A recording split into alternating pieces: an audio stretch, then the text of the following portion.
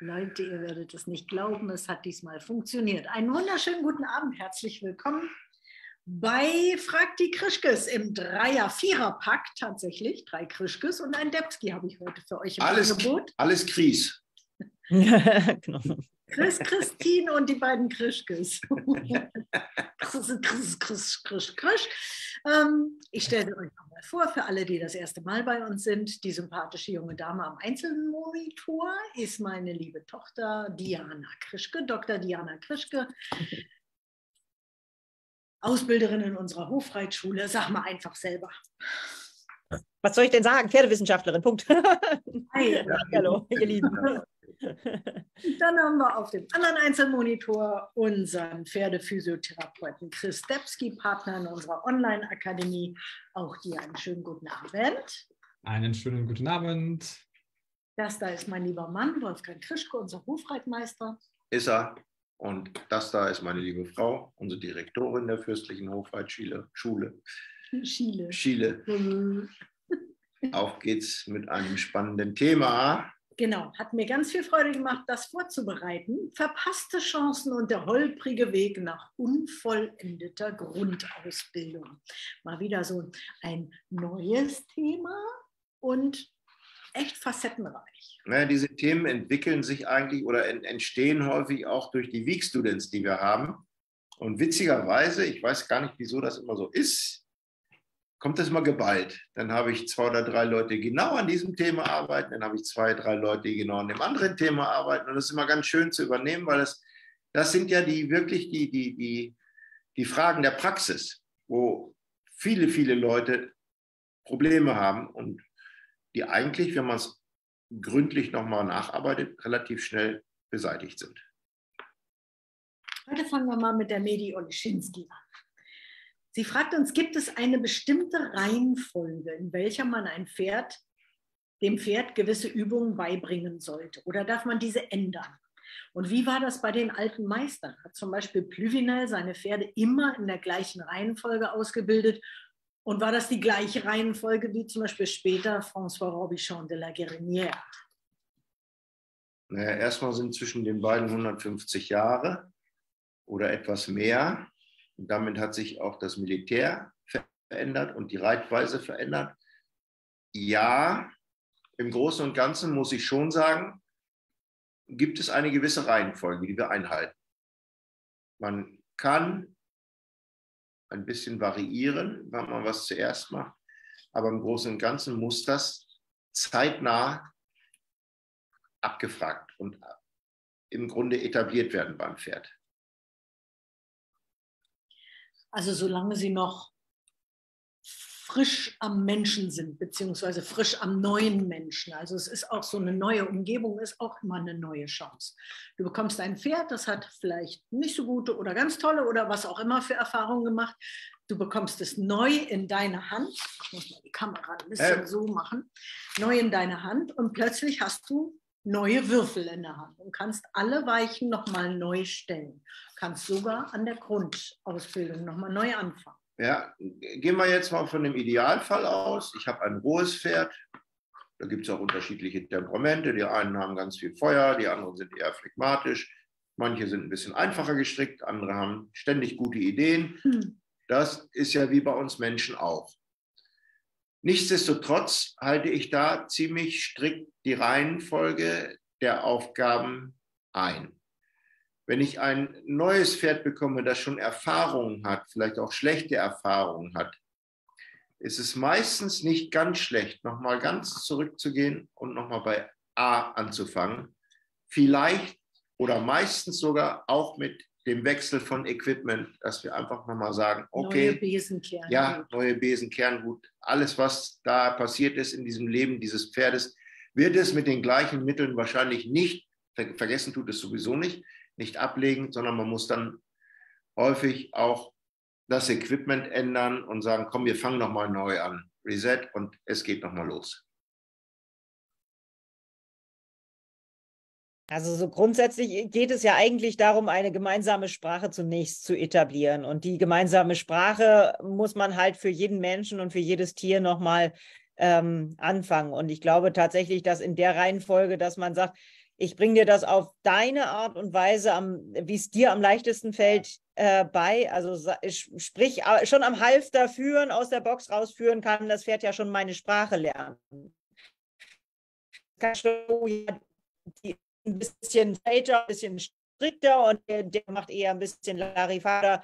Ähm, also solche Sachen, die checkt das Pferd ja schon in den ersten Minuten mit ihm umgehe. Und ähm, da kann ich ja schon Sachen etablieren, da kann ich ja schon sagen, okay, äh, die ist sehr wahrhaftig, ich gehe mit der mit, weil die strahlt Sicherheit aus oder das Pferd sagt, oh, hier muss ich mal einen Part übernehmen oder so. Und entsprechend würde ich dann anfangen, an der Kommunikation als aller, allererstes zu arbeiten. Also sprich, wenn ich losgehe, kommst du mit mir mit freiwillig oder muss ich dich ziehen oder muss ich äh, dich bremsen oder wo, wo sind wir überhaupt miteinander?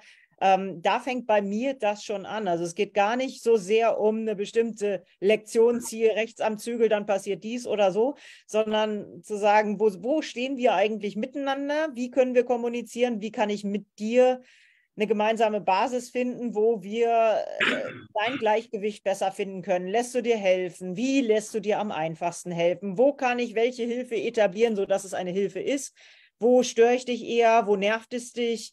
Ähm, ich lasse dann auch die Fehler gerne passieren, damit eben diese Reihenfolge deutlich wird. Also was fehlt denn? Wo genau hakt es denn? Also hakt es schon in, ich renne dich über den Haufen, wenn ich Bock dazu habe, oder äh, hakt es erst viel später, ich habe Angst vor der Gerte oder was weiß ich. Ne? Also äh, tatsächlich ist für mich diese Kommunikation und dieses Abfragen, wo stehen wir jeden Tag, ist nicht nur in der Ausbildung am Anfang, sondern es ist jeden Tag wieder das Wichtige.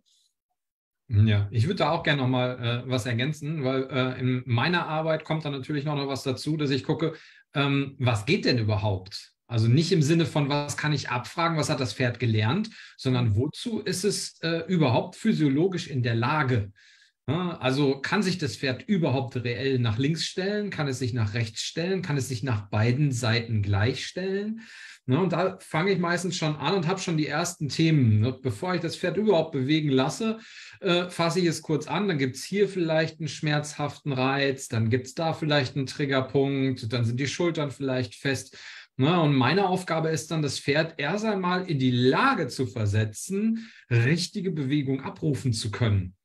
Und äh, da kommt dann der zweite Part, den du gerade gesagt hast. Okay, dann frage ich einfach mal so grundsätzliche Dinge dann ab und lass erstmal, guck mir alles erstmal an und merke dann, wie ist es vielleicht auch zu diesen Problemen, die das Pferd hat, gekommen? Ja, ist der Zügel überhaupt richtig verstanden, sowohl bei Reiter als auch bei Pferd? Ne? Das heißt also, wird eine Stellung dann wirklich so gegeben, wie wir uns das vorstellen, oder wird am inneren Zügel einfach gezogen und das Pferd rennt in diese Richtung oder läuft in diese Richtung?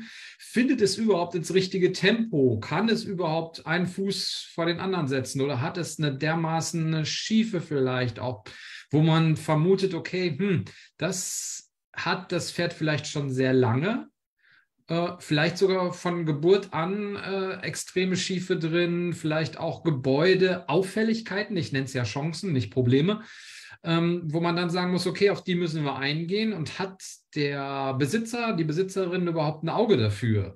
Ne? Weiß es um die Dinge, die das Pferd vielleicht so mit sich bringt? Und nochmal zurück zu den alten Meistern. Die haben natürlich eine grundsätzliche Reihenfolge gehabt, sodass sie äh, gesagt haben, sie haben das Pferd erst in eine Position gebracht mit dem Reiter, also wenn sie das Pferd an, den, an das Reitergewicht gewöhnt hatten, den Reiter da drauf gesetzt haben, haben sie es in eine Position gebracht, wo es vernünftig gehen konnte. Dann haben sie es gebogen, wahrscheinlich zum Testen, zu gucken, aha, da hakt es noch, da kann das Pferd das Gleichgewicht nicht halten. Haben es gebisslos meistens am Anfang ähm, in Stellung und Biegung gebracht. Sie haben es auf Wolken äh, geritten, auf kleinen Kringeln. Sie haben es auch mal geradeaus geritten, auch wahrscheinlich. Also ich gehe davon aus, dass sie damit ganz viele Sachen abgefragt haben und getestet haben, was geht. Also die hatten ihre Reihenfolgen und die haben sich auch tatsächlich ja gar nicht so wahnsinnig weit verändert über die Jahrhunderte. Nur, dass es dann eben in, mal schneller, mal langsamer gehen musste, also später dann immer schneller gehen musste für weniger ausgebildete Reiter und so. so. Aber tatsächlich, ich glaube, wenn man dann an Lektionen gehen will, dann braucht, brauchen alle eine Kommunikation, ein Gleichgewicht, äh, ein Pferd, was sich in alle Richtungen ähnlich biegen stellen kann, ohne dass es umfällt, ohne dass es Gleichgewicht verliert. Also ich glaube, Da gehen einfach alle konform, oder? Wie seht ihr das? Ich lege da nochmal einen kleinen Abschlusssatz drunter, worin sie sich alle geähnelt haben, waren, dass sie auf Kreisen gearbeitet haben. Die einen haben am Pilaren gearbeitet, manche haben auf einem gepflügten Acker in einer Spur gearbeitet, ganz bewusst, aber sie haben auf Kreisen gearbeitet und die hatten auch ihre, ihren Ablaufplan, sagen wir mal so. Lass uns jetzt nicht an der ersten Frage so lange festfressen, sonst kommen wir gar nicht durch. Aber ja, sie hatten einen Plan und da unterscheiden sich auch die alten Meister nicht von den modernen Meistern. Jeder, der, wenn wir sie Meister nennen, dann sind das Leute, die wissen, was sie tun und die haben einen Plan. Und das ist das Wichtigste. Die reiten die auf einem Nasband ja. und dann hängen sie die Kandare schon rechtzeitig ein. Wie auch immer. Damit das Pferd sich dran gewöhnt und das ist über Jahrhunderte gleich geblieben. Ja. So, zum einen. Das nächste ist die Frage von der Katrin. Was waren die größten Fehler in der Grundausbildung, welche, welche ein alter Meister mal gemacht hat? Wurden früher Fehler korrigiert oder wurden die Pferde einfach ausgemustert für den Wagen? Also, liebe Katrin, das hat natürlich keiner zugegeben. Mhm. Damals haben die alten Meister diese Bücher nicht geschrieben als Tagebuch oder sowas, sondern als Demonstration ihres Könnens und zur Würdigung und Ehrung dessen, der es bezahlt hat. Und haben sie natürlich nicht gesagt, ich muss jetzt ein, ein Pferd. Hm? Ja, ja, mach weiter. Ich habe eine Idee dazu. Du bist schon auf einem guten Pfad. Genau. Ähm, eine also Sie haben beschrieben, wie Sie verdorbene Pferde korrigieren. Der Plüvinel hat ja so einen Berber aus Nordafrika gekriegt, den Boniten, und der war so empfindlich im Maul und war so ein wildes Tier und den hat er also so toll korrigiert. So richtig gesagt, wie er es gemacht hat, hat er auch nicht. Dass er den dann mit einem Seidenfaden als Kinnkette reiten konnte. Ich frage mich, ob das wirklich milder ist als eine breite Metallkinnkette, aber mir soll diese Frage nicht erlaubt sein. Mir fallen dazu zwei Dinge ein. Das eine ist, dass die Meister selber nicht unbedingt darüber geschrieben haben, dass das nicht gut war, mit diesem Pferd das so zu machen oder mit dem Pferd das so zu machen. Äh, das haben dann die anderen geschrieben, meist aus einem anderen Land, nämlich die Konkurrenz, dass diese Methode vielleicht nicht die beste ist oder verwerflich ist oder wie auch immer sie darüber geschrieben haben. Und das Zweite ist, sie schreiben dann schon mal zum Beispiel über das Nasband, ich glaube, Galiberti hat das geschrieben, dass er vorsichtig ist, den Reitschülern ein Caveson in die Hand zu geben, dass er sagt, häufig ist der Fehler, dass die Leute mit dem Caveson versuchen, mhm. das Pferd, das war Gerenia, äh, ja. mit dem Caveson das Pferd zu erziehen, das, was ein Gebiss macht. Das kann das Caveson selbstverständlich nicht leisten und deshalb ist es auch nicht unbedingt vielleicht das richtige Instrument in der Hand eines Anfängers. Aber da, da haben sie schon gesagt, äh, Vorsicht mit dem Ding, musst du aufpassen. Und Guérinier ist dann ja auch derjenige gewesen, der gesagt hat, okay, ich erfinde die Unterlegtrense. Eben aus dem Grunde. Ja, ich würde ganz gerne noch ergänzen, also das, was du gerade gesagt hast bei den alten Meistern, also die haben, äh, manche haben natürlich drüber geschrieben, welche Fehler andere gemacht haben. Einer sticht da ganz besonders äh, hervor, der gute äh, Cavendish Newcastle, der hat quasi ein ganzes Buch darüber geschrieben, welche Fehler die anderen alle machen äh, und, und was er besser macht. Also wenn man da so reinschauen möchte, welche Fehler andere zu dieser Zeit alle gemacht haben, äh, sehr gute Empfehlung. Ähm, wenn man sich einmal reingelesen hat, recht unterhaltsam. Ähm, und äh, ja, es klingt dann ein bisschen breitbrustig, denn, äh, was er dann so von sich dann sagt, weil er natürlich die beste Methode aller hat. Und draufgesetzt hat dann, glaube ich, Boucher nochmal einen, weil äh, nur er hat die richtige Methode gehabt. Ähm, aber schon, wie du richtig gesagt hast, also die sind natürlich dafür bezahlt worden, äh, das Richtige zu schreiben. Und äh, ich glaube also, der Geldgeber hätte ein bisschen blöd geguckt, beziehungsweise gleich das Geld ab, den Geldhahn abgedreht, wenn die reingeschrieben hätten, was man alles falsch machen kann. ähm, das ist sicherlich äh, nicht, so, nicht so hilfreich. Auf der anderen Seite sehen wir auch am Equipment, dass sie sehr viel korrigiert haben. Also für hartmäulige Pferde, die stumpf gemacht wurden. Also sie schreiben immer, das wäre nicht notwendig gewesen, dieses Gebiss zu benutzen, wenn das Pferd gleich richtig ausgebildet worden wäre. Ähm, also solche Sachen sieht man schon sehr häufig und man sieht auch sehr häufig, wenn das Pferd Angst vor der Gerte hat, was ja nicht von ungefähr kommt und so weiter und so fort. Also sie beschreiben schon sehr viele Korrekturmaßnahmen bis hin ins 19. Jahrhundert, auch ins 20. Jahrhundert, wo sie mit den krassesten Prügelattacken irgendwelche Pferde kurieren, die schon leider versaut waren. Also äh, die Korrekturen gibt es in all diesen Büchern, glaube ich, überall. Okay, als nächstes möchte ich Katja Neumann zu Wort kommen lassen. Sie fragt uns, welche Fehler in der Grundausbildung begegnen euch häufig und wie wirken sich diese in der weiteren Ausbildung der Pferde aus? Dachte ich, machen wir mal so ein Best-of. Was fehlt am häufigsten in der Grundausbildung? Dass der häufigste Fehler ist, den Pferden nicht beigebracht haben, stille zu stehen. Also das, das Stop and Go. Stop, ja, Stop and Go. Es spielt gar keine Rolle. Anhalten. Das spielt keine Rolle. Ob das Stop and Go ist oder ob das beim Abladen vom Anhänger ist oder wo auch immer. Pferd, steh stille.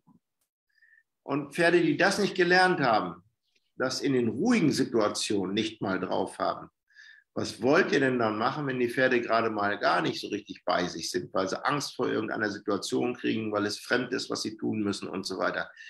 Das ist der, der schlimmste Fehler für mich. Denn wenn ein Pferd nicht stille steht und ihr streichelt das, um es zu beruhigen, wie kommt denn das beim Pferd an? Naja, Lob fürs Zappeln.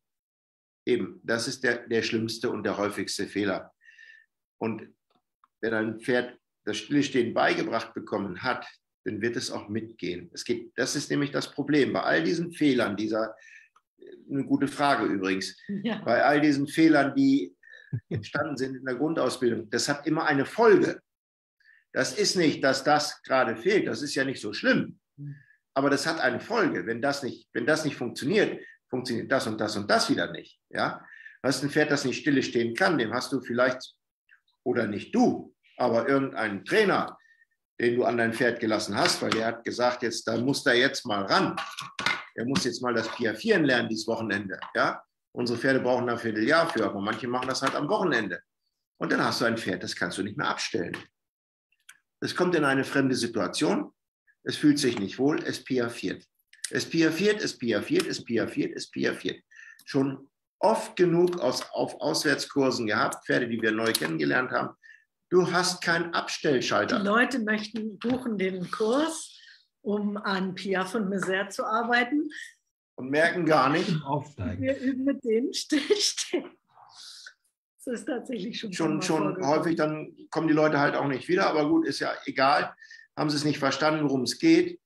Nur wenn ich in diese hohen Sphären reingehen will, daraus besteht, ich sage es wieder heute, nicht die Reitkunst. Das ist ein Part der Reitkunst, den man erreichen kann. Aber wenn man dahin will, braucht man eine fundierte Grundausbildung. Das nächste ist natürlich, wenn wir jetzt sagen, was ist der, der nächste äh, Punkt, ist absolut korrektes Führen dass das Pferd sich führen lässt und einen nicht umrennt, auch in Situationen, wo das Pferd Stress kriegt, eigentlich in den Rücken springt, einen umrennt, einen in die Hacken tritt, auf die Füße tritt. Ganz wichtiger Aspekt. Manche sagen, ist halt passiert. Das passiert nicht so. Ja? Das Pferd macht es absichtlich oder nimmt es billigend in nimmt Kauf? Nimmt es billigend in Kauf. Ganz tolles Beispiel immer. Die Stute hat gefohlt. Das Fohlen liegt im Stroh. Die Füßchen sind im Stroh. Die sind nicht sichtbar. Es ist stockdunkel in der Box. Habt ihr schon mal gehört, dass ein Fohlen ein Bein gebrochen hat, weil die Stute draufgetreten hat? Nein. Nee. Es gibt es nicht. War eine sehr dusselige Stute. Ja. Ähm, ich würde gern was ergänzen da an der Stelle, äh, weil ich finde das ganz wichtig. Ich glaube, heutzutage wird viel zu viel ähm, ja eigentlich in Bewegung gedacht. Es wird relativ viel über dieses falsch verstandene Vorwärts gearbeitet, also über Tempo in Lektionen rein. Ähm, und äh, wir haben es ja auch äh, schon öfter gesagt, Basis im Sattel fangen wir ja tatsächlich mit dem Aufsteigen an und mit dem Stillstehen. Und da sind ganz oft die Probleme. Ich sehe ganz viele Leute, die irgendwo in einer Reithalle todesmutig auf ihr Pferd kommen, in direkt schon äh, quasi aufspringen äh, und dann irgendwas noch machen. Dann wird auf einmal das Handy rausgekramt oder was auch immer, aber äh, Stillstehen hat nicht funktioniert.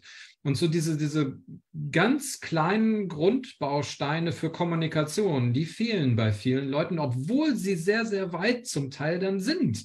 Das heißt also, vieles übersprungen worden. Vielleicht hat auch jemand die Grundausbildung übernommen und dann kommt das Pferdchen irgendwo aus Spanien. Das kann rennen, das kann irgendwas in einer Art von Galopp machen, das kann vielleicht irgendwas in einer Art von, von äh, Piaffe machen, das kann irgendwas in einer Art von Passage machen, das kann irgendwas in einer Art von, äh, von Pirouette machen. Nichts davon wirklich komplett auf Grundbaustein, sondern irgendwie rein. Und was man sehr oft sieht, ist, die Leute kommen in eine Art von Lektion rein, aber nicht wieder raus. Ja. Also ja. die kommen in eine Art von Schulter herein, irgendwas Krummes, und dann geht es über 20 Meter. Wir versuchen, die das irgendwie zu halten, wieder reinzukommen, wieder reinzukommen, machen sich aber gar keine Gedanken darüber raus, dass aus dem Rein auch wieder ein, da gehört auch wieder ein Raus dazu.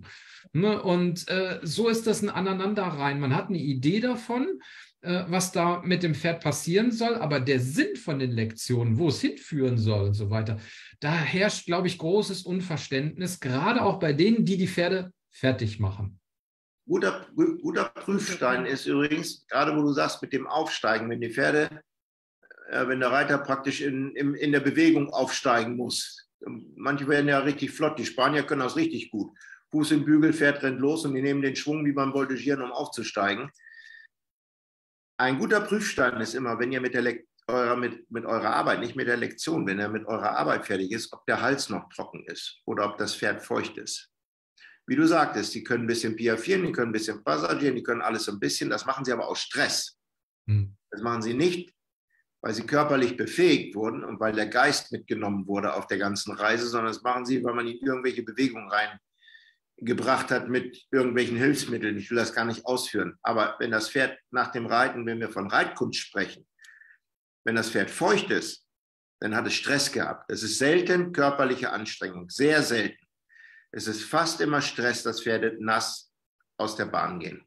Hm. Darf ich noch mal früher einsteigen? Also ich glaube tatsächlich, die Pferde können in einem solchen Fall Brocken einer Sprache, die kriegen einzelne Wörter gesagt. So, das ist das. Und wenn, wenn das kommt, dann machst du das. Aber die haben keine Idee von der Sprache, die haben keine Idee von den Nuancen, die da drin sind, die haben keine Idee von der Beziehung zu demjenigen, der ihnen die Wörter sagt. Ähm, also ich glaube, ich würde viel früher, ich würde beim Führen ansetzen. Wenn da die Basis hm. nicht stimmt, dann brauchen wir nicht loslegen. Ganz Danke. ehrlich, also wenn, wenn das Pferd nicht versteht, wie ich denke, wie ich fühle, wie ich agiere, mich nicht versteht und also im Endeffekt, die Pferde verstehen uns meistens, meistens verstehen wir die Pferde nicht. Aber wenn das Pferd erstmal gar keine Idee dazu hat, was meint die denn damit, wenn die da so stehen bleibt? Soll ich dann laufen oder soll ich dann stehen bleiben? Ne? Kann ja auch sein, dass ich da stehe und sage, so erwartungsvoll, dass das Pferd sagt, oh, so, ah, in die Luft springen, was soll ich machen? Ähm, statt, wenn ich dann sage, nee, komm mal runter, wir stehen jetzt hier einfach. Ähm, also ich, ich würde bei der Sprache schon ansetzen. Ich würde sagen, haben wir eine Beziehung miteinander? Darf ich dir überhaupt irgendwas sagen? Kannst du verstehen, was ich dir sage? Oder brülle ich dich auf Chinesisch an? Äh, wo, wo stehen wir denn gerade? Und dann daraus, aus dieser Kommunikation was zu entwickeln, ist meistens relativ einfach, wenn das Pferd merkt, oh, sie wird gerade ruhig, dann werde ich auch ruhig. Oh, sie macht gerade ein bisschen Druck, dann soll ich wohl irgendwas machen. Ich soll loslaufen, soll irgendwas tun. Ähm, dass, dass ich da schon loslege. Also es geht gar nicht so sehr um äh, Hoppeln an der Stelle, sondern tatsächlich um, sie meint, was sie sagt, sie will wirklich helfen, also Hilfen sollen helfen, das Mantra, was ich den ganzen Tag bete, ähm, lässt das Pferd sich helfen, wo sind wir denn gerade? Also da, da, wenn wir in dieser Kommunikation sprechen, dann brauchen wir nicht darüber reden, dass der einen Piaf-Ansatz kann, sondern erstmal sagen, äh, Stille stehen hat auch damit zu tun, dass ich meinem Pferd vermitteln kann, warum es stille stehen soll. Und dass ich nicht erwarte, dass es in die Luft springt oder so, sondern ich muss mich mit meiner Kommunikation dazu bringen, dem Pferd das klar zu machen. Darf ich noch einmal ganz kurz? Ah. In meiner Wahrnehmung setzt es, also es setzt genau da an, wo Diana es sagt. Und diese Aspekte, die ihr genannt habt, sind alle sehr häufig. Ähm, was mir als erstes in den Sinn schoss, als ich Katjas Frage gelesen habe, war, was die Menschen so mit ihren Händen machen. Ähm, welche Fehler in der Grundausbildung begegnen euch häufig? Dass Pferde überhaupt keine Ahnung davon haben, was mit ihnen geschieht mit dem Zügel, dass sie sagen, Menschen können nicht denken. Menschen mhm. rödeln da an mir rum. Also wie häufig sehe ich jemanden, der redet mit mir, der steht neben seinem Pferd und macht immer ruck, ruck, ruck, ruck, ruck, ruck, ruck, ruck. Beschäftigt das Pferd im Maul mit einem Zügel ohne Sinn und Verstand. also da gibt es kein Haltkommando, da gibt es kein Vertrauen, da gibt es kein Lockerlassen, da gibt es irgendwie sowas, was man mit dem Fahrrad macht, dass man es immer festhalten muss, damit es nicht umfällt. Und beschäftigen ist ja auch sehr nett gesagt. Er haut dem Pferd Schmerzen ins Maul. Das sind Schmerzen. Am Zügel rumroppen sind Schmerzen. Punkt. Ja. Das nicht beschäftigen, sondern ihm wehtun. Also permanent. Also der permanent an Schienbein treten ist das. Ja. Du wolltest noch? Jetzt mehr. bist du durch. Nadine Hai stellt uns die nächste Frage. Das ist das Thema, da kriegen wir wahrscheinlich cool, drei ne? Abende vorher. Ja, ja, ich liebe es. Also ich wusste, das wird ganz ja. Ganz heiß.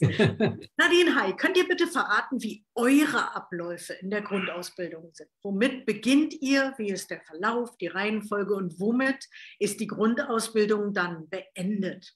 Und Doris Kern, sehr ähnlich, was gehört für euch zur korrekten Grundausbildung? Was ist unverzichtbar? Ich denke, alle Hilfen sollten erklärt sein und das Pferd zuerst gelernt haben, sich auf den Menschen zu konzentrieren und ihm zu vertrauen. Also, jetzt wir. Was sind unsere Grundbausteine? Bei mir ist das vollkommen egal, ob ich ein rohes Pferd kriege oder ein Pferd, das schon was kann. Fast immer ist es so, dass die Pferde sich in meinem Sinne nicht korrekt führen lassen was wir eben gesagt haben. Dazu gehört, dass das Pferd zunächst erstmal die imaginären 50 Zentimeter einbehält. 50 Zentimeter Abstand von mir und zwar nach hinten. Die Augen überholen mich nicht. Das Pferd bleibt hinter mir und sein, seine Augen kommen nicht über meinen Kopf. Denn damit mache ich klar, ich bin die Führungsperson, ich kann dich führen ich bin gut zu dir, ich fühl, führe dich nicht in Situationen, die du nicht bewältigen kannst, ich werde dich nicht enttäuschen, aber du hörst mir zu. Und das ist, ich sage mal, bei 80 bis 90 Prozent der Pferden ist das der Fall, dass ich denen ein korrektes Führen beibringen muss. Bei einem jungen Pferd ist es vielleicht ein bisschen aufwendiger. Bei einem erfahrenen Pferd, das schon gelernt hat zu lernen, ist es manchmal abgetan. Innerhalb von einer Viertelstunde oder zehn Minuten ist das erledigt. Wenn man das dann den nächsten Tag und den übernächsten Tag nochmal korrekt abfragt, haben die es verstanden, dann ist es auch ganz einfach. Beim jungen Pferd ist es ja noch unerfahren, es hat noch nicht gelernt zu lernen. Das braucht dann länger. So, was kommt nach dem Führen? Natürlich gleichzeitig zum Führen kommt dieses Stille stehen. Was wir eben gesagt haben, abwarten. Wenn es das gelernt hat, lernt es an der Longe anzutreten. Wir longieren nicht lange. Aber ein paar Tage oder Wochen wird es schon also gemacht, bis das nicht Pferd. Nicht über einen längeren Zeitraum hinweg. Nicht über einen längeren Zeitraum Und hinweg. Auch nicht lange. Nein, auch nicht lange. Also wenn wir fünf bis zehn Minuten longieren, dann ist das eigentlich nur dafür da, um nicht den, auf keinen Fall ausgebunden. Fast immer auf den Kappzaum. Dem Pferd beizubringen, Schritt, Trab und vielleicht später auch Galopp frei auf dem Zirkel im Roundpen.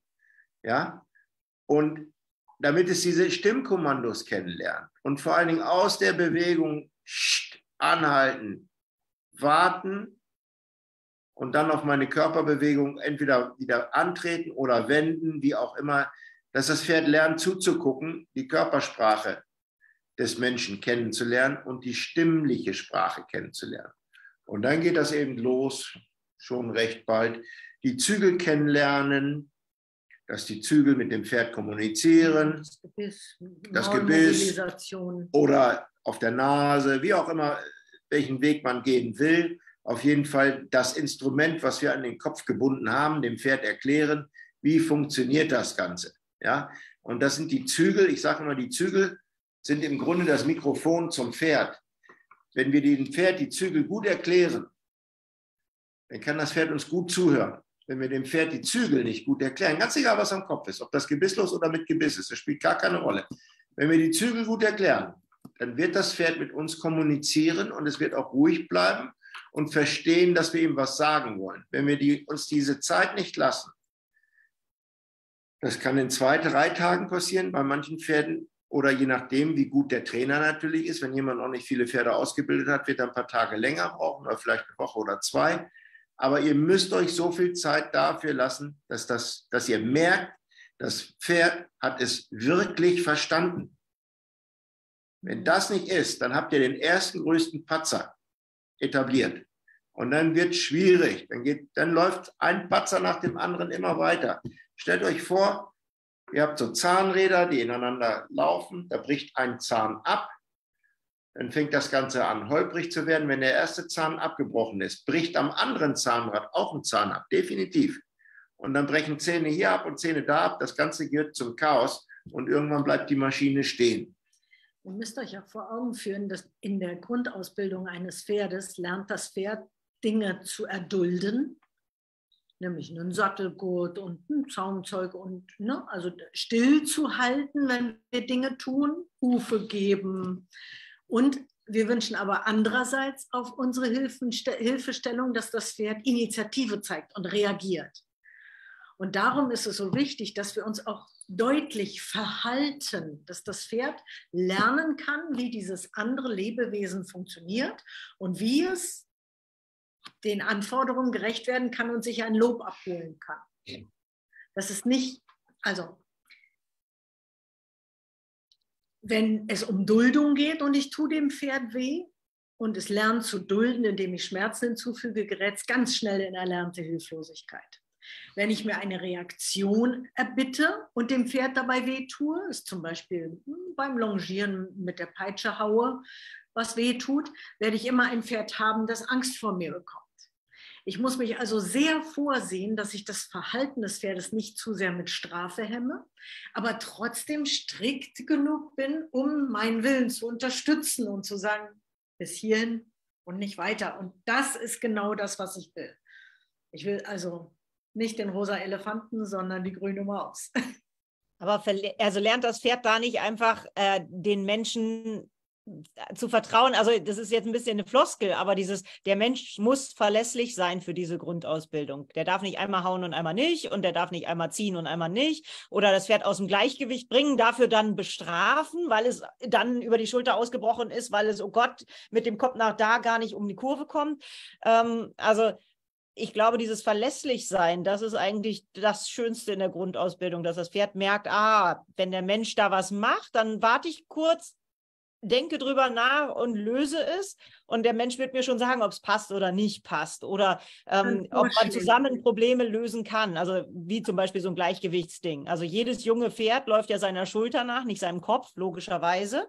Ne? Also ein Pferd stellt in der Natur, wenn es um eine Ecke läuft, den Kopf als Balancierstange nach außen und schiebt über die innere Schulter. Und ich ja, sage jetzt was ganz anderes beim Longieren. Ich sage mal, mit der Schulter, mit dem Kopf mit. Und ich muss dem Pferd ja eine Lösung bieten können. Und wenn ich das kann, dann bin ich der große Held. Dann das, merkt das Pferd, ach guck mal, mit der zusammen geht das viel einfacher als ohne.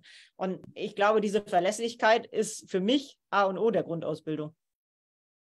Ich möchte, das ist ganz wichtig, was du gerade gesagt hast. Ich möchte nur für die Zuhörer, die das nicht, vielleicht noch nicht so ganz weit im Reiten drin sind, die könnten jetzt ja sagen, oh, wenn das Pferd beim in die Kurve laufen, nach links immer den Kopf nach außen nimmt, warum reite ich mein Pferd nicht so?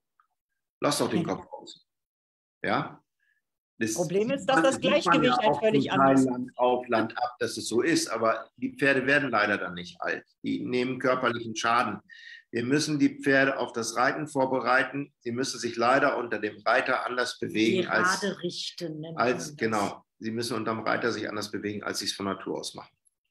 Ja. Ergänzend dazu hinzufügen. Ja. Wir waren ja sowieso auch bei, bei dem Thema Fehler und äh, Grundausbildung, Abläufe. Ich glaube, etwas, was so ein bisschen gerade auch mitschwang bei dem, was Diana gesagt hat, der Faktor Zeit ist das, was der größte Fehler eigentlich meistens gemacht wird. Es geht zu schnell und zu früh. Viele Pferde werden viel zu früh zu sehr belastet. Es geht gar nicht mal darum, dass jetzt ein Pferd, sagen wir mal, mit drei oder dreieinhalb nicht irgendeine Form von Kommunikation schon lernen darf oder nicht auch schon irgendwie die ersten Schritte mal an der Hand und so weiter machen darf, sondern das Maß der Belastung ist einfach viel zu groß. Das wird schon angeritten, das wird schon relativ lange geritten ähm, es wird schon in gewisse Formen gebracht, es wird schon irgendwo vielleicht auch vorgeführt äh, etc. Und die Belastung ist einfach zu groß. Egal wie gut die Kommunikation da ist, egal wie, ich sag mal, pädagogisch man da rangeht, ist die Belastung oft zu groß für den Körper. Ne? Das heißt also, das, was wir da dem Körper zumuten, ist meistens so schlecht, zu viel, dass der Körper Maßnahmen ansetzt, zu sagen, okay, die Belastung ist zu groß. Erstens, Wachstumsfugen sind noch nicht geschlossen. Ähm, daraus entstehen Problematiken, vielleicht entstehen Arthrosen, Kissing Spines und so weiter, Sehnenprobleme. Hufrolle war ein Thema gewesen, auch beim letzten Workshop, äh, weil Pferde dann auch zu sehr auf den Schultern belastet werden, zu sehr auf die Vorhand gebracht werden, vielleicht sogar von Natur aus so, sogar schon so gebaut sind und da sind viele Dinge, die sich nicht mehr so gut korrigieren lassen später, weil wenn das einmal geschädigt ist, die Problematik, das sind meistens Langzeitschäden, die entstehen. Die haben da ihren Grundstein und auf einmal achtjährig, neunjährig, zehnjährig habe ich von heute auf morgen ein Problem und frage mich, hat er sich gestern vertreten? War irgendwas auf der Weide gewesen? Nee, der ist zu früh zu viel belastet worden das Pferde leiden still und sie werden eigentlich erst deutlich und laut, wenn es zu spät ist. Das ist das große Problem. Ein Hund sagt viel früher Bescheid. Ein Pferd sagt nicht Bescheid. Es sagt wenn es schlau genug ist, dann macht es irgendwelchen Unsinn. Dann macht es irgendwelche Verhaltensauffälligkeiten, die uns Menschen nicht gefallen. Äh, schnappt nach dem Sattelgurt oder äh, fällt in der Kurve einfach um und zertrümmert uns das Knie oder den Oberschenkel. Äh, schade dann hat es schon Bescheid gesagt, aber das hören wir ja auch nicht so gern. Naja, und wenn es dann so Bescheid sagt, gehen wir mal eben zu einem Trainer, mhm. der sagt dem Pferd mal Bescheid. Genau. Dann hat sich das erledigt. Du hast ja. gefälligst still, ja? still zu leiden. Genau. Oder du benutzt halt Hilfszüge, um die Schwäche Buckeln. zu kompensieren oder die, das mangelnde Gleichgewicht oder sonstiges. Das Buckeln und das Steigen gewöhne ich dir schon ab. Mhm. Nadine Hay darf uns die nächste Frage stellen. Ab welchem Alter startet ihr mit der Grundausbildung bei den Pferden? Wenn wir tatsächlich Jungpferde zu uns bekommen, beginnen wir im Alter von vier mit der Grunderziehung, also mit dem Führen üben, in alle Situationen üben, Satteln üben, Zäumen üben, Aufsteigen üben, Führen mit aufgestiegenem Reiter üben und äh, wollten reiten und anhalten. Ja, also. Und stillstehen. Gut. Meistens, also wenn wir aus deutschen Landen ein Pferd bekommen, also das hier geboren ist, spielt ganz egal welche Rasse, ist ja eine gewisse Grundausbildung schon da. Ein Fohlen wird ans Halfter genommen, das muss mal verladen werden. Es gibt die Füße, der Schmied war da ja schon dran. Ne? Und äh, so lässt sich auch anbinden meistens. Also wir kriegen ja nicht unbedingt Pferde, die jetzt irgendwo drei Jahre lang in der Pampa rumgelaufen sind, deren Füße auch nicht gemacht werden mussten, weil sie sich selber gut ablaufen konnten. Das ist ja in unserem Land selten so. Man bekommt eher Jungpferde, die schon in einer gewissen Art und Weise ein bisschen verdorben sind. Weil man schon zu viel gemacht hat und das kleine Pferd ist ja noch so jung. Lass es doch noch. Und man nimmt diese kleinen Ungereimtheiten hin und aus dem kleinen Fohlen wird irgendwann ein junger Hengst, wenn er noch Hengst bleiben durfte und der kommt auf seine eigenen Ideen. Und da ist dann eben diese Grundausbildung. Aber wie Christine sagt, vierjährig, so im Allgemeinen, wenn wir mal einen kleinen Rotzlöffel haben, der so wie bei uns wachsen ja auch manchmal Hengste auf und wir merken, der wird mit drei schon ein bisschen lustig, weil er vielleicht auch schon Chef in seiner kleinen Gruppe ist. Dann kann das sein, dass er auch mal mit drei schon mal ein bisschen eine Grundausbildung bekommt. Aber wir hören dann auch auf und er geht dann weiter wieder auf die Koppel und wir warten noch ein Dreivierteljahr. Das ist dann einfach nur für die eigene Sicherheit, wo wir sagen, okay, beim Führen, beim Stillestehen müssen wir dem schon mal sagen, wie es geht, damit er später, wenn er stärker wird, körperlich und auch innerlich eine Stärke erreicht, dass er das schon mal akzeptiert. Kommentare? Ich mache weiter, okay? Jetzt gehen wir ins andere Extrem. Laura Sophie von Gerstorf möchte wissen, kann man versäumtes auch ein 13, äh, ein 16-jähriges Pferd noch lehren? Ab wann ist es zu spät? Wenn es tot ist. Genau. Du kannst egal in welchem Alter, kannst du deinem Pferd noch was erklären und zeigen. Pferde hören nicht auf zu lernen. Wie Menschen auch. Plastisches Gehirn wird sich immer umformen. Das, was jetzt in dem Moment gefragt ist, das wird als Gehirnautobahn entstehen. Die eingefahrenen Wege sind natürlich da. Das, das, das dauert es ein bisschen länger bei so einem Pferd. Plus das soziale Lernen unter, also in, in Pferdeherden ist ja auch hierarchieabhängig, Freundschaften abhängig, also beziehungsabhängig. Und wenn man dann sagt, okay, das Tier hat gar keine Beziehung zum Menschen, dann hat er ja auch erstmal kein Interesse am Menschen da zu lernen. Wenn er aber ein Interesse dran hat oder das lernt zu haben, dann geht das auch mit einem älteren Pferd ganz schnell. Also es ist tatsächlich, es ist eine Frage, wie man es herleitet und wie man äh, dem Pferd die Motivation geben kann, dass es weiter lernt. Aber lernen tun sie immer ihr Leben lang. Es wäre ein bisschen blöd, wenn sie ans Krokodilloch gehen mit 16 und äh, das drei, viermal machen. Also dann sind sie halt nicht mehr 17. also sie müssen jeden Tag lernen. Die müssen auch jeden Tag wissen, welche Pflanze sie heute gegessen haben und dann vielleicht nicht mehr essen, weil da gibt es Bauchschmerzen von oder sowas. Also es ist Blödsinn zu sagen, man lernt nicht mehr im Alter. Es ist halt nur 16 so. 16 ist ja gar nicht so alt. Nö. Also, Nein, in, in unserem Sinne ist 16 nicht alt, 16 ist die Halbzeit. Ähm, vorausgesetzt, das Pferd ist nicht körperlich überfordert worden und kann bestimmte Dinge nicht mehr. Ja, du hast ja gerade von dem Pferd gesprochen vor ein paar Wochen bei dem Reitkurs. Da ist es äh, eigentlich drei Minuten vor zwölf. Vielleicht kriegt man das Ruder noch umgerissen, aber da muss man sofort alles ändern, damit das Pferd dann noch ein hohes Alter erreichen kann. Aber auch bei dem Pferd haben wir gesehen, das hat das Willens angenommen und sehr schnell verstanden, worum es geht. Das kriegt ihr bei jedem Pferd noch hin. Ihr müsst nur gucken, dass ihr es körperlich nicht überfordert, denn Dinge, die es nicht mehr kann, weil es eine starke Arthrose hat, weil es bestimmte Steifigkeiten im Körper hat, dann geht das nicht mehr. Aber dafür gehen ganz viele andere Dinge noch. Jetzt kommt die Anna M. Stark. Wann merkt ihr, dass es Zeit ist, noch einmal zur Basis zurückzukehren? Für mich ist dieses zur Basis zurückkehren das Kennenlernen des Pferdes. Ich setze mich da nicht drauf, sondern ich nehme den erstmal an die Hand. Ich gehe in die Box, ich nehme Kontakt auf, ich schaue wieder auf mich, ob der bereit ist, eine Beziehung einzugehen, ob der sich für mich interessiert. Und wenn das schon nicht steht, dann üben wir Interesse aneinander. Also ich, wenn ich ein Pferd kennenlerne, frage ich, Schrittchen für Schrittchen ab. Wie ist es denn beim Führen? Wie ist es denn beim Satteln? Wie ist es denn beim Aufsteigen? Wie ist es denn beim und sagen, also lässt du dich von mir im Tempo, kannst du stillstehen? Ich frage das alles ab. Ich würde mich nie auf ein Pferd setzen, das nicht stillstehen kann. Never. Never.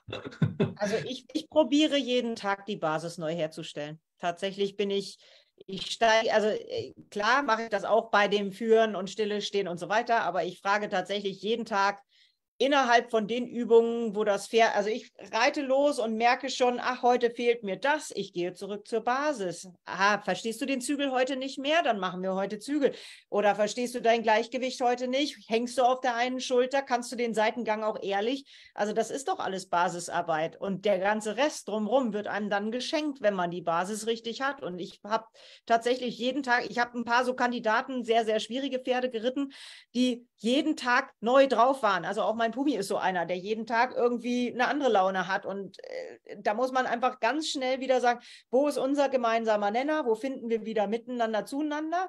Und daraus kann ich Sachen entwickeln. Aber das muss ich wirklich jeden Tag neu abfragen. Natürlich kann ich auf einer gewissen Beziehungsbasis dann auch arbeiten. Also mit Motti musste ich nicht mehr jeden Tag unsere Beziehung neu ausdiskutieren, aber ich musste schon jeden Tag fragen, sind wir heute in der Lage, das Hinterbein auch mitzunehmen oder haben wir es vergessen? Ne? So, also immer wieder Basis, jeden, jeden, jeden Tag. Und es geht gar nicht um große Lektionen oder sowas, sondern die Basis, wenn die Basis stimmt, dann kann ich sagen, ach, guck mal, heute können wir traben an der Stelle, können wir eine schöne Piaf machen. Wenn der Trab schon nicht stimmt, dann brauche ich nicht anfangen. Muss, oder das Vor nicht stimmt oder das Gleichgewicht nicht stimmt, dann brauche ich mit der Lektion nicht anfangen. Hm, wichtig. Ich würde gern Folgendes ergänzen. Ich stehe, ich bin ja nun mal nicht der Pferdeausbilder, ich sitze nicht oben drauf. Meistens stehe ich irgendwo und ver versuche mit den Leuten die Basis durchzugehen. Und mir fällt leider viel zu oft auf, dass die Leute nicht wissen, was die Basis ist und wofür sie ist, wofür sie gut ist. Das heißt, die haben zwar ein Verständnis davon, wir haben es gerade schon mal gesagt, irgendwie aufs Pferd zu kommen und dann Dinge zu machen. Sie haben eine Idee von, ah, ich muss irgendwie den Kopf runterbekommen und ich muss irgendwie leicht traben und ich muss dies machen oder jenes machen. Das spulen sie auch ganz toll ab, meistens eine Dreiviertelstunde oder sogar noch länger. Ähm, aber das Pferd kann nicht gestellt werden. Wir haben gerade das Stehenbleiben gehabt. Das Pferd kann nicht angehalten werden. Ähm, wir reden nicht mehr über Schulterhereien oder andere Dinge, sondern dass da wirklich ein falsches Verständnis von Basis ist. Ja, also, dass die Leute sich wähnen, viel weiter zu sein, als sie wirklich sind und auch das Pferd anders beurteilen. Also, die beurteilen das Pferd eigentlich in einer anderen Sphäre und die Basis beurteilen sie gar nicht. Sie, das, was du gerade gesagt hast, dass sie danach fragen, hört es heute auf den Schenkel oder sonst irgendwie was. Sie kommunizieren auch weniger auf dem Pferd mit einem Lebewesen, sondern sie kommunizieren am Boden mit einem Lebewesen. Sie putzen es, sie streichen es, sie reden, sie quasseln es meistens sogar ziemlich voll. Ähm, dann wird aufgestiegen und dann besteigen sie eine Maschine. Das heißt, sie bedienen Knöpfe, sie haben sehr technisches Verständnis davon, können sehr gut erklären, was denn wie gemacht werden soll und warum man das machen muss. Aber sie kommunizieren nicht mehr mit einem Lebewesen. Das heißt, sie fragen nicht mehr, sie stellen keine Fragen und warten auf eine Antwort, auf eine Reaktion, sondern sie machen etwas, drücken einen Knopf und beschweren sich maximal darüber, dass irgendwas gerade nicht befolgt wird. Das ist ein mega guter Punkt mit der Technik. Tatsächlich sind viele technisch weiter als Basis, aber im praktischen dann halt nicht. Also, weil sie die Kommunikation vergessen, weil sie die Beziehung vergessen, sondern weil sie in technischen Begriffen denken und sagen, ah, ich muss doch meine linke Hand hoch und mein rechtes Bein dagegen und den äußeren Zügel so und äh, äh, statt zu sagen, was will ich denn eigentlich haben? Was, also, wenn ich die Leute frage, kriege ich auch immer gleich so eine technische Beschreibung, wenn ich sage, was willst du denn jetzt? Ja, ich, will, ich weiß ja, ich muss meine innere Hand hochnehmen und Dings und Dings. Da geht es ja gar nicht drum. Es geht darum, was will ich jetzt eigentlich vom Pferd haben? Und das ist total lustig, dass genau in dieser Basisarbeit meistens schon so ein kleiner Dackel drin steckt. Dass man, wenn man den Leuten dann den Zügel mal wegnimmt und nur einen Halsring dran macht, dass alle schon dastehen und sagen, ach du Kacke, wie reite ich denn jetzt eine Wolte? Wie geht denn eine Wolte überhaupt? Was will ich denn eigentlich vom Pferd? Das ist total schön. Also es macht viel Spaß. Sehr schön. Ich mache mal weiter mit Martina Beinlich. Kommt es mir nur so vor oder muss man bei Pferden, Ponys, die eine korrekte und strukturierte Grundausbildung genossen haben? Moment, keine. Nee, die keine. Die keine. Kommt es mir nur so vor? Oder muss man bei Pferden, Ponys, die keine korrekte und strukturierte Grundausbildung genossen haben, häufiger zur Basis zurückkehren, um neue Aufgaben und Lektionen erarbeiten zu können? Muss man wieder zur Basis, muss sich wieder abbiegen üben, wenn ich Passage erklären will. In der Frage ist ein Widerspruch. Du sagst, sie keine vernünftige Grundausbildung genossen haben und dann sollen sie häufiger zur Basis zurückkehren. Wenn die Grundausbildung nicht da ist, ist die Basis nicht da. Du musst dem Pferd die Basis erklären. Nee, ich glaube, sie meint nicht, äh, nicht zeitig. Also äh, kommt zehnjährig zu dir, du holst die Grundausbildung nach, jetzt möchtest du nach der Grundausbildung spanische Schritte erarbeiten und dann ist wieder alles dahin. Dann musst du wieder Nachgiebigkeit am Zügel und Stop and Go und musst du wieder alles neu Nein, zurückholen. Ich, ich, ich sage es nochmal genau, wie ich es auch meine. Bei diesem Pferd, das keine, Grundaus keine korrekte Grundausbildung bekommen hat, stellst du einfach eine neue Basis her. Dann musst du das nicht machen. Es hat keine Basis. Du kannst nicht zur Basis zurückkehren, wenn du keine Basis hast. Wenn du keinen Heimathafen hast, kannst du nach Hause fahren. Ganz einfach. Ja, also du kriegst dieses Pferd, du merkst, da stimmt was nicht. Bring ihm eine Basis bei, das ABC der Reiterei. Das geht mit Führen und Stille stehen los, was wir vorhin auch schon gesagt haben. Und dann wirst du merken, die Lücken, die beim Pferd entstanden sind in der Ausbildung, kannst du jetzt füllen, weil du jetzt eine Basis hast, wo du sagen kannst, hör mal kurz zu, bleib mal stille stehen da funktioniert was nicht, wir machen das jetzt mal im Stand statt in der Bewegung und dann kann das Pferd das verstehen. Ich glaube, man muss die Basis auch nicht als äh, Kindergarten verstehen, sondern als Teil der normalen Kommunikation mit dem Pferd. Es fehlen ganze Worte. Also in meinem Wortschatz fehlen und, aber und oder. So, ihr könnt mit mir reden. Wir können Argumente austauschen, aber immer fehlt dieses Bindewort. So, jetzt komme ich irgendwo hin und da sagt mir jemand, pass mal auf, und nimmst du immer, wenn du was verbinden willst und erklärt mir diese drei Worte und dann sind die doch da. Und dann rede ich damit jeden Tag. Und wenn ich sie wieder vergesse, sagt mir einer, hey, denk mal dran, wenn du die beiden Sätze hast, dann sag mal nicht aber, sondern sag mal und. Aber es wird doch zum Teil des ganz normalen täglichen Tuns. Mhm. Ich kann mir aber vorstellen, dass es auch noch ein, äh, also wenn ein Pferd dadurch schon Fehler gelernt hat, also äh, Konsequenzen dadurch, entweder körperlich oder geistig, äh, dann ein Trauma davon hat, dass es als Kind nicht gelernt hat, um eine Ecke vernünftig zu laufen mit dem Reitergewicht obendrauf. Dann hat man es noch ein paar Mal bestraft, wo es sich Mühe gegeben hat. Dann in dem Moment ist es erstmal durch damit. Und ich glaube, das dann wieder zu holen und dieses Trauma aufzuarbeiten, also diese Gehirnautobahn da wieder ein bisschen ähm, zum Feldweg werden zu lassen, das braucht tatsächlich mehr Basisarbeit und immer wieder Basisarbeit. Also ich, ich kann mir vorstellen, wenn, wenn was kaputt ist, dann muss man halt tatsächlich sagen, okay, Jetzt müssen wir nochmal und nochmal und nochmal dran arbeiten, dass das wirklich in allen Situationen auch wieder äh, gut wird. Also wenn das Pferd Angst vor Galoppwechseln gelernt hat, dann werden diese Galoppwechsel immer wieder Basisarbeit brauchen, immer wieder, oh, du musst nachgiebig am Zügel sein, ich bringe dich ins Gleichgewicht, ich darf dir helfen, komm, wir machen nochmal einen normalen Galopp, komm, wir können den Galopp variieren und vielleicht machen wir aus Versehen mal einen Galoppwechsel daraus. Also Diana, ich kann mir vorstellen, dass das ein bisschen mit da reinspielt dass das ein, äh, ein Mangel in der Grundausbildung ist oder ein Mangel an der Begabung des Pferdes. Wir haben ja einfach auch so Körperklausis oder welche, die, die es einfach nicht in die Wiege gelegt gekriegt haben. Da muss ich doch öfter mal wieder ganz zurück und sagen, nee, das machen wir mal nicht mit dem Unterhalt, sondern wir nehmen dafür schön die Rumpfheber. Ähm, Habe ich da so ein, so ein Kanterauer, wenn dem die Grundausbildung fehlt? Nee. Nee. Nee. Nee? Nee, der ist ein Kantor, weil er eine gute Grundausbildung gekriegt hat. Hätte er die nicht gekriegt, würde er mit seinen körperlichen Talenten sich gegen den Reiter wenden. Ja. Ein außergewöhnliches Pferd, wenn das verkannt wird, wenn das falsch geritten wird, es ist in der Lage, sich außergewöhnlich zu bewegen, dann wird es diese außergewöhnlichen Bewegungen gegen den Reiter wenden. Genau mhm. der ist so, weil da war jemand dran, der wusste, was er tat. Mhm. Und er vor nichts Angst, nicht vom Bein, nicht vor der Hand, vor gar nichts. Das ist gut ausgebildet, das Pferd. Und das ist der Riesenunterschied. Was, was Diana gerade gesagt hat, finde ich ganz wichtig. Ähm, und das begegnet mir sehr häufig. Wenn das Pferd jetzt körperlich nicht in der Lage ist, etwas auszuführen, ähm, weil wir haben gerade über Technik gesprochen und wir reden sehr viel ja auch über Schulterhereien, Seitengänge und so weiter und so fort. Jetzt spulen die Leute da etwas, eine Idee davon ab und glauben, jetzt haben sie den Weg gefunden und können so abhaken. Basis habe ich.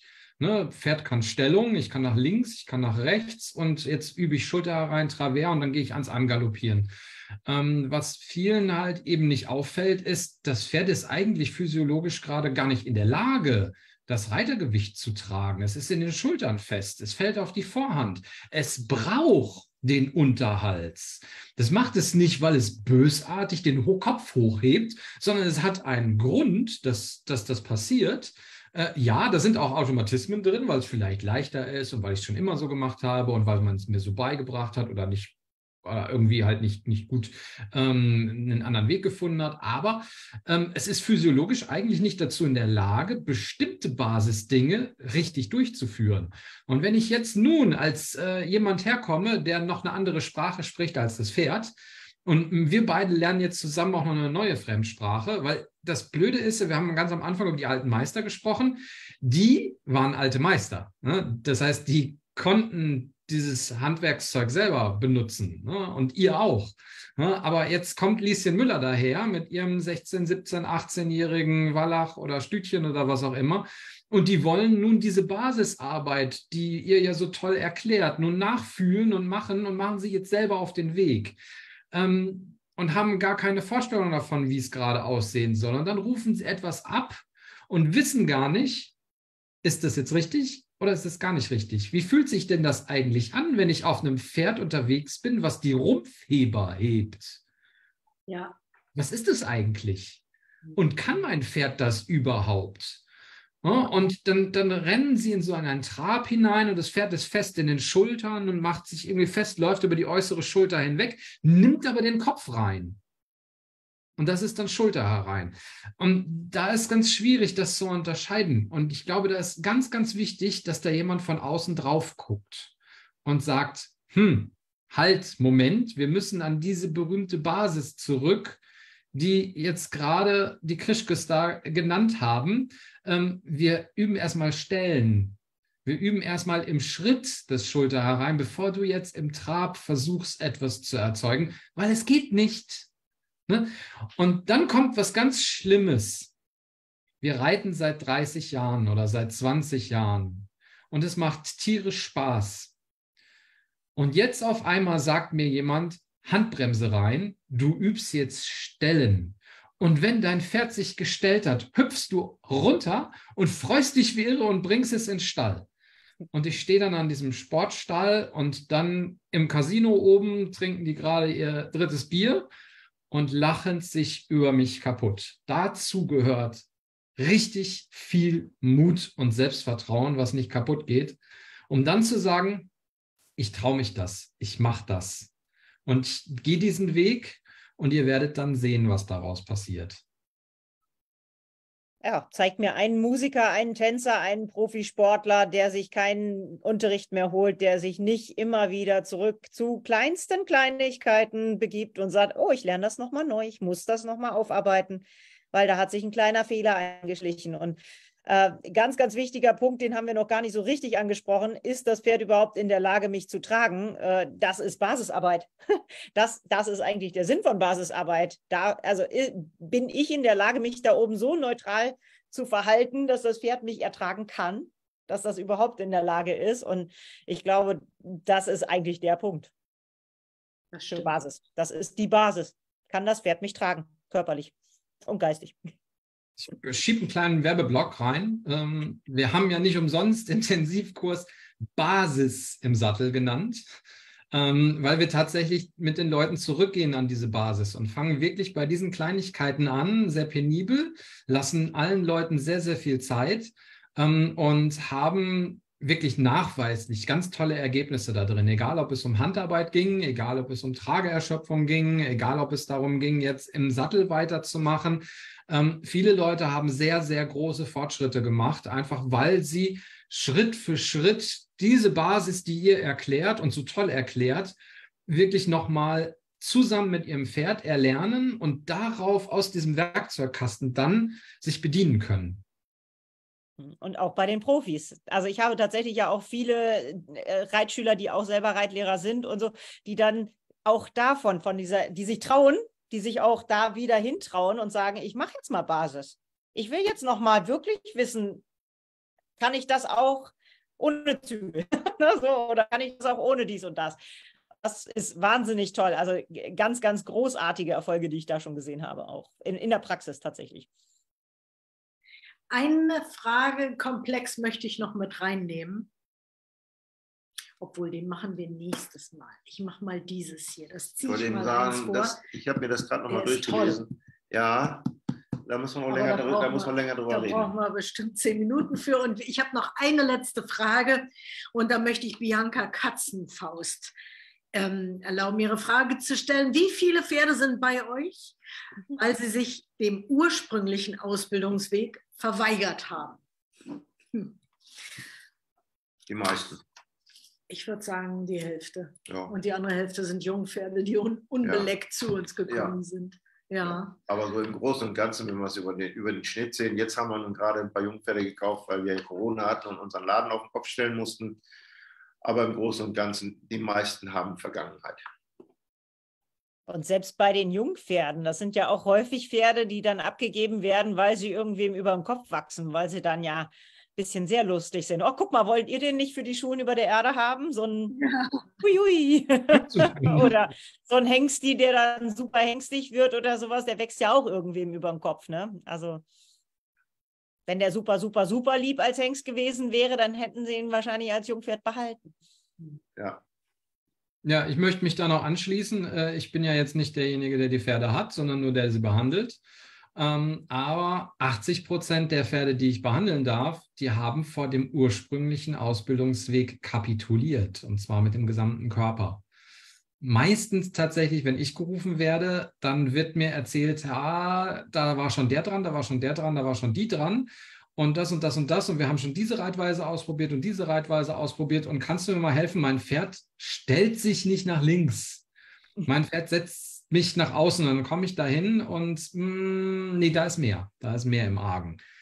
Ähm, und die haben tatsächlich kapituliert oder werden so wehrig, dass sie also steigen, buckeln und was weiß ich nicht alles, sämtliche Auswege suchen vor dem ursprünglichen Ausbildungsweg und haben körperliche Schäden davongetragen, die man erst später mitkriegt. Also ich glaube, da sind so viele Sachen, die wir vielleicht nicht in der Ankaufsuntersuchung äh, untersuchen, sondern wenn man dann merkt, so, boah, der ist immer schief auf der Seite und kommt da gar nicht in den Quark und dann lässt du doch mal ein Rückenröntgen oder ECVM oder weiß der Geier was, stolpert ihm zu viel. Also man kommt ja auch erst nach und nach dahinter, was da eigentlich drin steckt und warum das so sein könnte. Also wenn er auf allen vier Füßen gleich lahm ist, dann ist er vielleicht ganz nett und läuft gleichmäßig, aber äh, man muss dann halt gucken, okay, irgendwann stimmt auch da dann die Basis nicht mehr und man man muss sagen, dann gehe ich wieder ganz zurück, dann machen wir wieder Füße ordentlich, dann gucken wir, äh, also man fängt wieder von Null an und das tut man mit jedem Pferd, wenn man das neu hat. Immer. Und das dauert auch immer eine ganze Zeit lang. Also dieses Zurück zur Basis gesundheitlich dauert eine ganze, ganze Zeit. Ist so. Und darum geht es eigentlich in der nächsten Frage. Nämlich, die stellen wir nicht mehr. Nee, die stellen wir. die ist von Anja Milena. Die fragt nämlich, warum es bei ihr nicht schneller geht. Und das ist eine ziemlich komplexe Frage. Die werden wir jetzt heute Abend nicht mehr machen. Wir haben es jetzt 9 Uhr, Stunde ist um. Die berühmten 20 Minuten haben wir äh, gerade geschafft heute. Und damit beschäftigen wir uns das nächste Mal. Da geht es nämlich genau darum, was, wie viel Zeit, wie, wie berechnen wir Zeit? Wann ist die Basis zu Ende? Wann kann ich endlich fortgeschritten reiten? Ja. Schön. Habt dann schön länger gemacht. So. Ja, Cliffhanger. ähm, lieber Chris, könntest du in die Kommentare vielleicht für unsere Leute nochmal meinen kleinen, wir haben es benannt, wie wollen wir es denn nennen, meine Orientierungshilfe in unseren Intensivkursen reinstellen? Entscheidungshilfe, ne? Entscheidungshilfe. Ja. Ja-Nein-Kaskade oder du hattest auch noch irgendwie. Ja, genau das. Genau. Aber bei dir ist es ganz unscharf. Jetzt, aber ja, es wird immer scharf und man kann es nicht lesen. Gut. Stellen wir in die Kommentare rein, schaut euch das mal an. Ja. Dann habt ihr eine Idee, wo ihr gerade steht und was wir mit Basiselementen meinen. Und wir sehen uns nächsten Dienstag wieder in trauter Runde und dann machen wir den zweiten Teil zu unserem richtig tollen Thema. Es macht mir ganz viel Spaß. Ganz lieben Dank dir, liebe Diana, dass du Zeit für uns hattest. Danke dir, lieber Chris. Danke. Lieber Wolfgang, dass du mir dir, zur Seite gestanden hast Danke. und euch allen einen wunderschönen Abend. genau. Auf Wiedersehen. Bis bald.